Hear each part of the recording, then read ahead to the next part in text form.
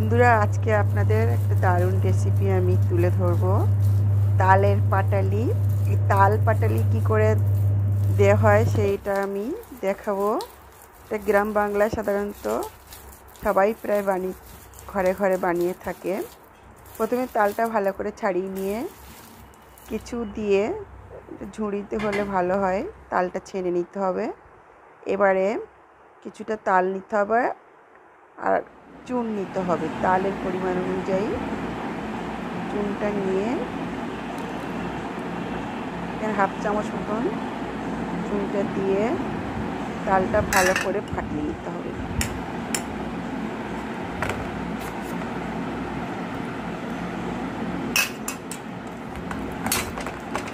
সুন্দর করে তালটা ফাটিয়ে নিয়ে এবারে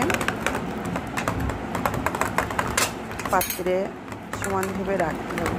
দেখবেন চুনটা যেন ঢেলা ঢেলা না থাকে, সুন্দর করে ভালো করে হাত দিয়ে মিশিয়ে নেবেন। তালে গোটা গোটা দেবে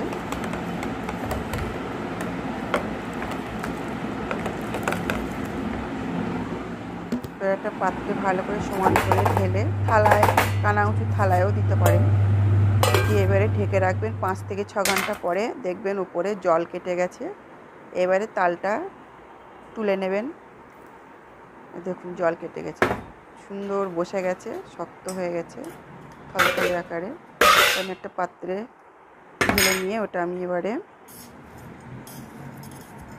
দুর্দান্ত খেতে লাগে এটা। দেখুন, সুন্দর একটা পাটালি হয়েছে। এটা আমি এবারে একটা ছুরি দিয়ে বড় বড় আকারে কেটে এটা কাঁচাও খেতে পারেন বা একটু তেলে একটু ভেজে নিতে পারেন দিলে খুবই ভালো লাগে।